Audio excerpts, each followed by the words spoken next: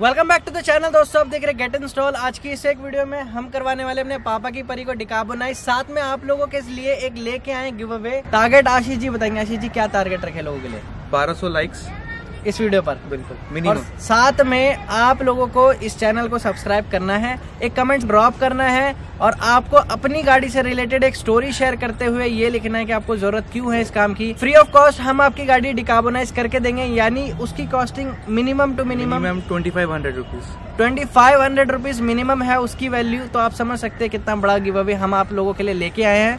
करवाना चाहते तो आप ऑब्वियसली इस वीडियो को पूरा एंड तक देखना हम सारा प्रोसीजर उसी के अंदर आपको बताएँगे।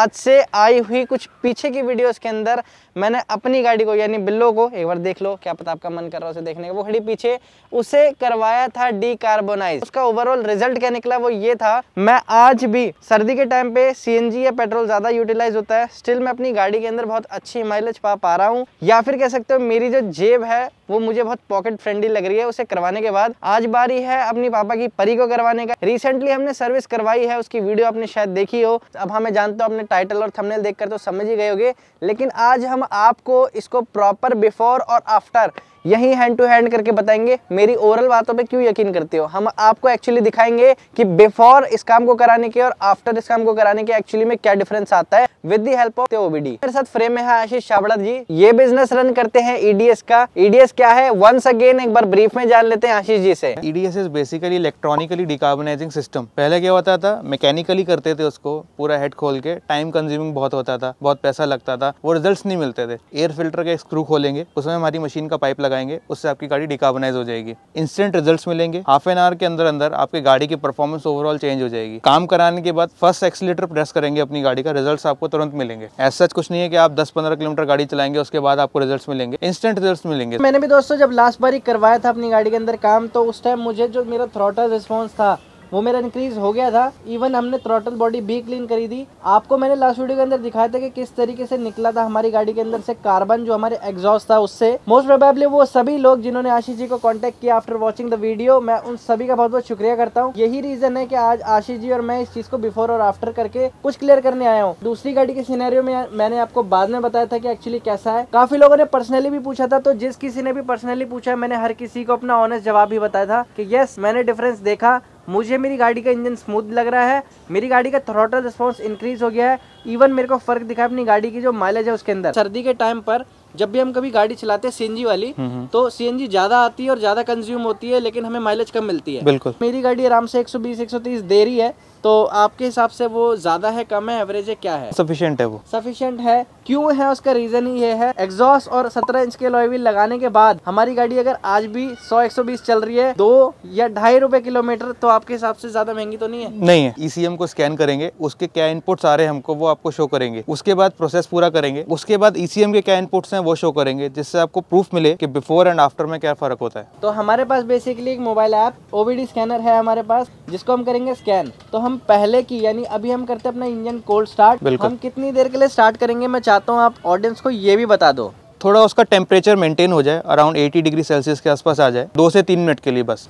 उसके बाद हम आपको एक मेज़रमेंट देकर एक स्क्रीनशॉट में लगा दूँगा और हम जब इस काम को कर लेंगे तो मैं आपको रीडिंग ज़रूर दिखा दूँगा। जो लास्ट वीडियो में हमने रखा था 20 परसेंट डिस्काउंट वही रहेगा। उसमें ये है डिपेंड करता है कि जैसे कॉल आया, आप कितनी दूर हैं, हमको कितना टाइम लग रहा है आपको अप्रोच करने में तो वहाँ पे डिस्काउंट थोड़ा कम हो जाता है, क्योंकि आने जाने का टाइम मैनेजमेंट प्लस फ्यूल का कॉस्टिंग वो भी हमको मेंटेन करना है वहाँ पे। लोगों के मेरे पास फ़ोन आए, उन्होंने पूछा कि आप क्या श्योरिटी देते हैं, क्या गारंटी देते हैं कि हमारा माइलेज बढ़ेगा गाड़ी का या परफॉर्मेंस बढ़ेगी। जब तक आप कुछ काम कराएँगे नहीं उसके रिजल्ट्स आपको मिलेंगे नहीं। जब तक रिजल्ट्स नहीं मिलेंगे आप उसको एश्योर नहीं कर सकते। मैं अपनी अपनी तरफ़ से 110 परसेंट की एश्योरिटी देता हूँ कि आपको रिजल्ट्स मिलेंगे ही मिलेंगे। अब वो कितने मिलेंगे वो आप पे डिपेंड करता है आपकी चलाने पे डिपेंड करता है। इवन तुमने गाड़ी के अंदर क्या क्या ऑल्ट्रेशन कर रखे उन चीज़ों के ऊपर बहुत डिपेंड करती है।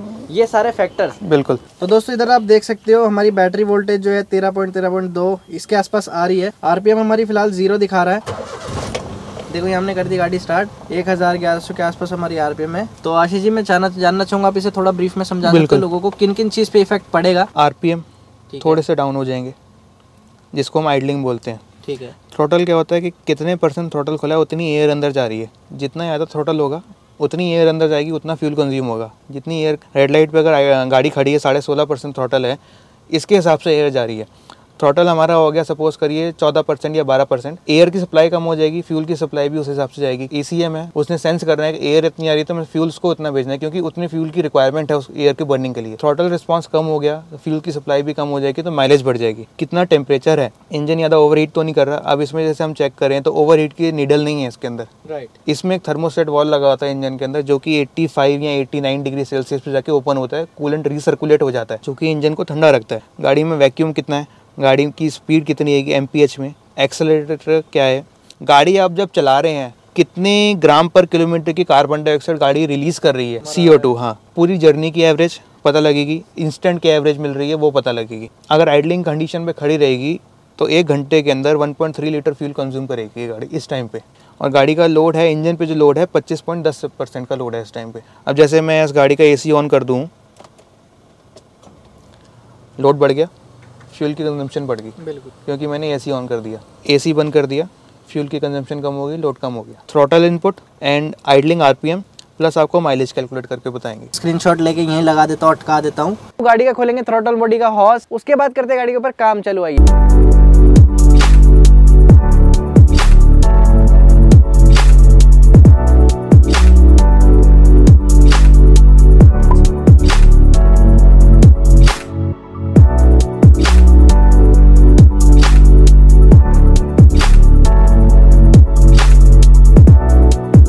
it is not a part of decarbonize लेकिन स्टिल अगर आप थ्रोटल बॉडी भी क्लीन कराना चाहते हो ये ऑब्वियसली आपको करके देते हैं। अब आप देख लो उन्होंने स्प्रे करा है। स्प्रे करने के बाद मैं आपको जरा रिज़ल्ट दिखा देता हूँ क्या मिलता है हमें अपनी थ्रोटल बॉडी साफ़ करने के बाद। रिसेंटली गाड़ी सर्विस हुई है। देखो उसके बाद हमें ये मिला है गाड़ी में से। ये जो अभी गंद निकल रहा है ये ऊपर ऊपर की लेयर है। अभी आप अंदर उंगली डाल के साफ़ करेंगे तो उससे और गंद निकलेगा। पर्सनल पॉइंट ऑफ़ व्यू से बताऊँ तो ये पहले अटक काफ़ी रहा था। Throttle body after we clean this तो मेरे हिसाब से आशीष जी एक स्मूथ कर देता है इसको। हाँ। इसे साफ़ करने के बाद हमें कुछ ऐसा मिला है।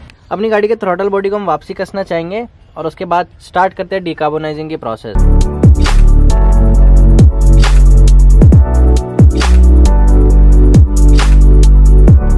यहाँ पर लग रही है हमारी प्लेट दोस्तों देख सकते हो आप ये पाइप जो है हमारा जा रहा है गाड़ी के अंदर। इसे लगाने का रीजन क्या है? प्लेट लगाने का रीजन ये है कि बाहर की जो डस्टी एयर है वो अंदर ना जाए। सेकेंडली गैस ही गैस अंदर है वो बाहर ना निकले। बाहर की एयर अंदर ना जाए अंदर की गैस बाहर ना निकले। जो हम भेजना चाहते हैं सिर्फ़ वो जाए। भेजना चाह रहे हैं गैस को वो ही जाएगा। मशीन आधा घंटा चलेगी उसके अंदर एक टाइमर सेट है। कितने गैस का प्रेशर रहेगा वो सेट है इंजन के हिसाब से। जैसे लास्ट टाइम आपने वीडियो में चेक कर सकते गैस का प्रेशर हमने क्या रखा था? वन के आसपास रखा था आई थिंक इसमें हम गैस का प्रेशर थोड़ा कम रखेंगे कारण इंजन छोटा है हमारा। थ्री सिलेंडर इंजन है वहाँ फोर सिलेंडर इंजन काम ये करती है काम हम आपको प्रॉपर कागज़ पेन पे समझाते हैं तो आपको समझ आएगा आसानी से। ये हमने मशीन ऑन कर दी है। इस टाइम मशीन इतनी वोल्टेज ले रही है इतनी एम्पेयर ले रही है। मशीन का टेम्परेचर इतना है। ये टाइमर हो गया। गैस का फ्लो कितना है? अभी ये ट्वेंटी वन पे है। हम इसको बढ़ाएँगे। बढ़ा के हमने 120 पे सेट कर दिया है जो कि गाड़ी के लिए सफिशेंट है। एक तरफ़ दोस्तों हमारी चल गई मशीन दूसरी तरफ़ हमने कर दी अपनी गाड़ी स्टार्ट इंजन की आवाज़ अभी आप सुन सकते हो कितनी है। पहले इस पूरे तीस मिनट के प्रोसेस को होने देते हैं बाकी रही बात इसकी। इसको बबलर बोलते हैं। ये एक तरह का सेफ्टी वॉल्व का काम करता है गाड़ी के अंदर कोई एक्स्ट्रा गैस ना जाए या कुछ और ना जाए। सेकेंडली इससे पता लगता है कि हाँ मशीन चल रही है गाड़ी में काम हो रहा है। चल दोस्तों अभी भी किसी का डाउट ये है कि इस काम को कराने की ज़रूरत क्या? एक बार ब्रीफ ले लेते हैं यानी समझ लेते हैं पूरे प्रोसेस को। ये सिलेंडर है। ये पिस्टन है, आउटलेट वॉल्व है, इनलेट वॉल्व है स्पार्क प्लग है। पेट्रोल इंजन के अंदर अगर डीजल इंजन की बात करें तो नोजल का काम करती है, जहाँ पे डीजल स्प्रे होता है। कंप्रेशन रेशो है इलेवन इस टू वन। मतलब जब ये पिस्टन नीचे होगा, अपने एंड पोजिशन पे होगा तो इलेवन वॉल्यूम एयर सक करेगा। कंप्रेस करके उसको वन वॉल्यूम बना देगा। कंपनी की जो कंप्रेशन रेशो आई है, इलेवन इस टू वन की आई है, अब होता क्या है, गाड़ी जब चलती है, फ्यूल बर्न होता है तो कार्बन की लेयर जमना शुरू हो जाती है, पिस्टन पे, हेड पे। अब होगा क्या, जो इसका वॉल्यूम है, वो कम हो जाएगा। गाड़ी ने तो इलेवन वॉल्यूम की ही एयर सक करनी है, लेकिन कंप्रेशन जो उसकी इस पॉइंट पे आके होनी है वो कंप्रेशन क्या होगा, इस पॉइंट पे हो जाएगा। क्यों? क्योंकि वॉल्यूम उसका कम हो गया। सपोज़ करिए, पहले ये जो लेंथ थी हमारी, अगर 10 मिलीमीटर की थी कार्बन की लेयर जमने के बाद ये 9.8 या फिर 9.7 रह जाएगी। तो जो कम्बशन इस इनिशियल पॉइंट पे, पहले वाले पॉइंट पे हो रही है, उसको बोलते हैं प्री इग्निशन पॉइंट मतलब एक्चुअल कम्बशन होने से पहले ही कम्बशन होगी। उसका ड्रॉबैक क्या रहता है? जो प्रॉपर आउटपुट होता है व्हील्स के ऊपर नहीं मिलता। इंजन में नॉकिंग साउंड आती है इन स्मूथनेस नहीं रहती है इंजन की लाइफ कम हो जाती है। आप देखते हैं कई कई केसेस में आपने देखा होगा कि भी हमारी गाड़ी के इंजन सीज हो गए, सत्तर, अस्सी हज़ार पे सीज हो गए। वो यही है कि मेंटेन नहीं किए गए इंजन ढंग से इसलिए सीज कर जाते हैं। या कुछ प्रॉब्लम आ गई या वॉल्स हमारे जाम हो गए। कई कई केसेस आपने ये सुने होंगे सत्तर अस्सी हज़ार गाड़ी चली हमारे वाल जाम हो गए हमारे। लेम एंड लाइफ में बात करें तो, तो वॉल जाम होने का कारण ये है कि वॉल्स के ऊपर कार्बन की लेयर जम जाती है। वो जब लेयर जमेगी तो properly open close open close नहीं होंगे। अगर पेट्रोल इंजन की बात करें तो एयर और फ्यूल का मिक्सचर आता है इंजन के अंदर। यहाँ से स्पार्क प्लग से स्पार्क प्रोड्यूस होता है। जहाँ से इनलेट हो रही है वहाँ पे अगर रास्ते में रुकावट आ गई कितनी एयर जाएगी कितनी नहीं जाएगी आपको नहीं पता। प्रॉपर डिलीवरी नहीं हो पाती। ऐसी अगर डीजल इंजन की बात करें तो उसको इतनी एयर चाहिए, जितना डीजल उसको बर्न करना है, अगर उतनी एयर नहीं बन पा रही तो क्या होगा? नॉकिंग साउंड बन जाएगी। डीजल के अंदर क्या होता है कि डीजल स्प्रिंकल होता है अलग अलग जगह वो बम्बार्ड हो जाता है। बम्बार्ड होगा कार्बन होगा तो वहाँ पे टर्बुलेंस क्रिएट होगा। टर्बुलेंस क्रिएट होगा तो प्रॉपरली बम्बार्ड नहीं होगा वो। बम्बार्ड नहीं होगा तो कंबशन नहीं होगा कंबशन नहीं होगा तो आउटपुट नहीं मिलेगा। आउटपुट नहीं मिलेगा तो परफॉर्मेंस नहीं मिलेगी। परफॉर्मेंस नहीं मिलेगी तो एवरेज नहीं मिलेगी। एक भी चीज़ ठीक हो जाती है, सारे ऑटोमेटिकली सारी चीज़ें अपने आप ठीक हो जाती है। जैसे पेट्रोल गाड़ी के अंदर पेट्रोल और एयर का मिक्सचर आता है, वैसे सीएनजी के अंदर सीएनजी और एयर का मिक्सचर आता है। काम वही है स्पार्क प्लग से स्पार्क होनी है बम्बार्ड होगा। बम्बार्ड होगा तो कम्बशन होगा कंबशन होगा तो पावर जनरेट होगी। सीएनजी हो एलपीजी हो डीजल हो पेट्रोल हो एनी व्हीकल हो उसमें इंजन होना चाहिए ये काम उसमें होता है। Whether it be two wheeler four wheeler six wheeler eight wheeler any engine fifty CC का मिनिमम मोपेट का इंजन आता है जो। Maximum nine thousand seven hundred ninety nine CC का वॉल्वो बस के अंदर इंजन आता है। इस कैटेगरी के बीच में अगर कोई भी इंजन है आपके पास वो डिकार्बोनाइज हो जाएगा। इवन अगर मेरे पास स्कूटी हो बाइक हो बिल्कुल वो भी हो जाएगा। हो चुका है काम दोस्तों हमारा पूरा। मशीन हो चुकी है, बंद। इसको लगा देते हैं हमारी जितनी भी कैप और एयर फ़िल्टर है दोनों को। जरा रिज़ल्ट दिखाते हैं आपको जो कार्बन निकल रहा है इसके अंदर से। जो कार्बन के फ्लच हैं, वो निकलेंगे। एक बार दिखा देता हूँ।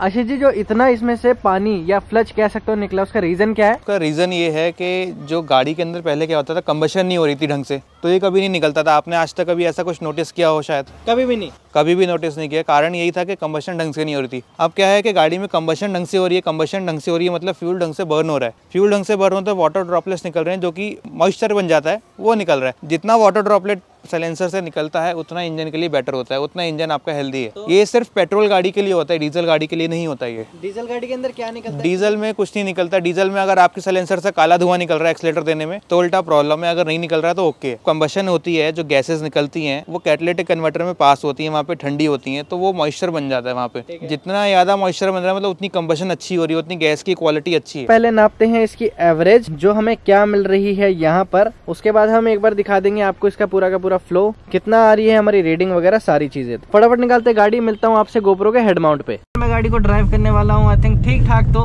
काफ़ी अच्छे खासे किलोमीटर अलॉयस हमने सेम साइज़ के लगाए हैं अपग्रेडेड नहीं है माइलेज और कंफर्ट दोनों सेम रहेगा तो इसका मतलब ये है सीधा सीधा गाड़ी को मैं रोड्स पे ड्राइव करूँगा, ले जाकर ट्रैफ़िक बहुत बेसिक रहेगा, यानी आप समझ सकते हो, हम सिटी में ड्राइव करने जा रहे हैं।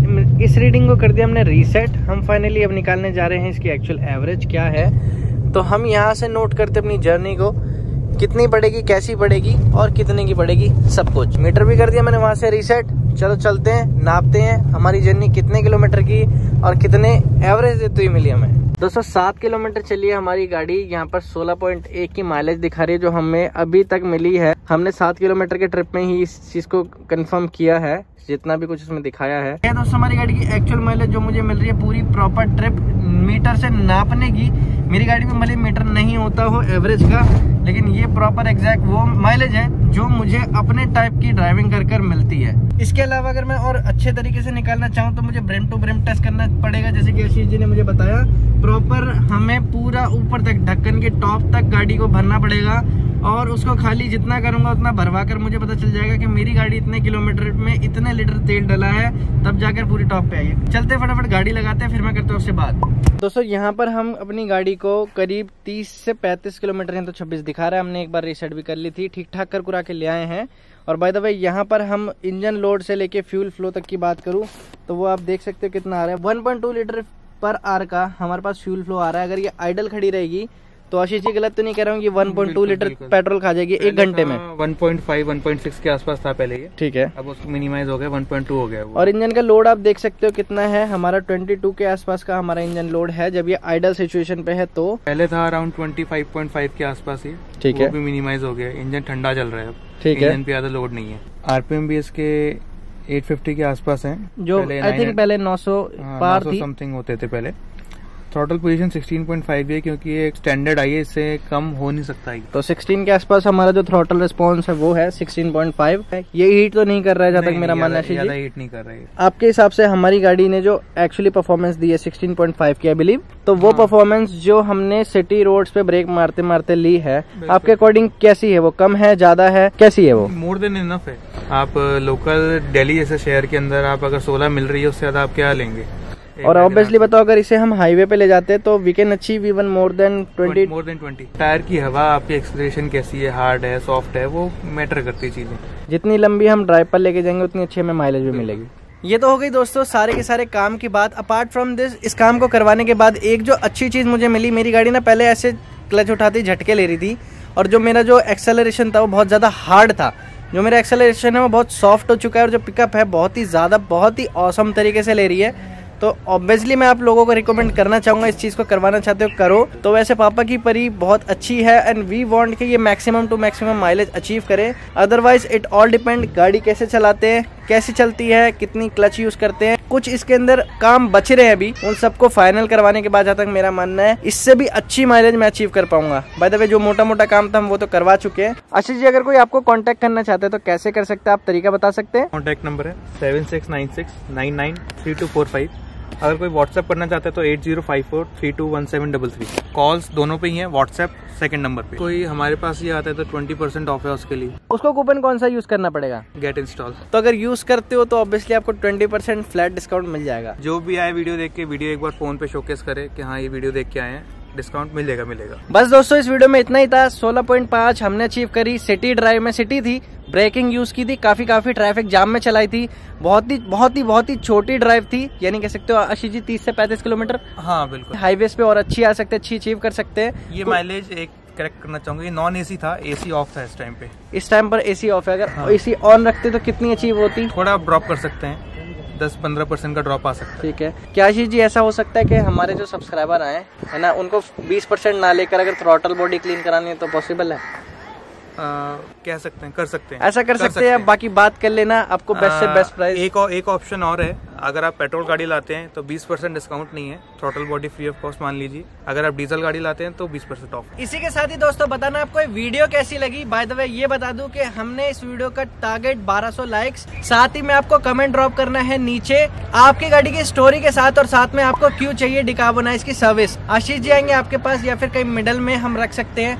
हम आएँगे लाइव या फिर हम, मैं आने वाली अपनी वीडियोस के अंदर आपको जल्दी अपडेट दे दूँगा, लेकिन वो तब करेंगे हम जब हम 1200 लाइक साथ ही में 300 कमेंट 300 कमेंट रखें। बिल्कुल बिल्कुल। 300 कमेंट का टारगेट पूरा कर देंगे तो उसके बाद ही हम आपकी गाड़ी को डिकार्बोनाइज करने के लिए एक माइलस्टोन कंप्लीट होने के बाद गिव अवे को अनाउंस करेंगे। इसी के साथ ही आपको बताना वीडियो कैसी लगी? मैंने ऑनेस्टली अपने रिज़ल्ट देख लिए हैं क्या मिलता है मुझे? आपने देखा जैसे आशीष जी ने भी बताया और आप में से अगर बहुत सारे लोग पढ़े लिखे मैकेनिकल हैं तो वो जानते होंगे मैं चाहूँगा आप शेयर कर दो आप कहाँ कहाँ गए उस काम को करने के लिए? इस काम के लिए अभी हम फरीदाबाद किया है नोएडा कवर अप किया है गुड़गांव कवर अप किया है दिल्ली में है ही है। एज सच कोई है कि कोई जैसे आगरा के आगरा से क्वायरी है वहाँ पे अगर 10 से 12 व्हीकल इकट्ठे हो जाते हैं आगरा आके हम वहाँ पे भी कर देंगे टिका बने तो जैसे कि आप जानते हो परफॉर्मेंस ओरिएंट कराते हो चाहे आप माइलेज ओरिएंट कराते हो दोनों चीज़ों में इंसान को हो सकता है वहाँ रहकर नहीं वहाँ कहीं से इधर उधर अप डाउन करना पड़े। उसकी कन्वेंस कॉस्टिंग भी काफ़ी ज़्यादा आ सकती है। तो इसलिए ऑब्वियसली आप पहले आशीष जी से बात करो अपनी अपॉइंटमेंट ले लो कब आना है, किस दिन आना है, कहाँ मिलना है, कैसे मिलना है, सब कुछ डिसाइड कर लो और उसके बाद आशीष जी से मिलना। पूछना चाहूँगा कि जो गिव अवे हमने रखा है, क्या वो सिर्फ़ छोटी गाड़ियों के लिए रखा है या किसी एक स्पेसिफिक गाड़ी के लिए रखा है या सबके लिए रखा है? एनी फोर व्हीलर कोई भी फोर व्हीलर हो, उसके लिए हमने इस गिव अवे को रखा हुआ है। तो बाकी बताना, आपको ये गिव अवे हमारा कैसे लगा? क्योंकि ये हम आज इसीलिए ही कर पा रहे हैं क्योंकि आशीष जी ने भी इस चीज़ के अंदर इंटरेस्ट दिखाया और आशीष जी भी चाहते हैं। जो चीज़ आशीष जी ने आज अचीव करी है, वो आपको भी कम से कम उस चीज़ का एक्चुअल बेनिफिट पता चले। और ये बेनिफिट हो ही बता पाता है, जिसने यूज़ करी उस चीज़ को, जिसने एक्चुअली में उसके रिज़ल्ट देखे हो। इसी के साथ ही दोस्तों, इस वीडियो को एंड करने से पहले मैं आपको अप्रोच करना चाहूँगा। आइए अपनी गाड़ी की माइलेज बढ़वाइए और बढ़ावा दीजिए सेव मनी सेव फ्यूल को। करते इस वीडियो को ये कहिए and thank you so much for be part of this video हम मिलते हैं आपसे नेक्स्ट वीडियो में. तब तक के लिए पीस आउट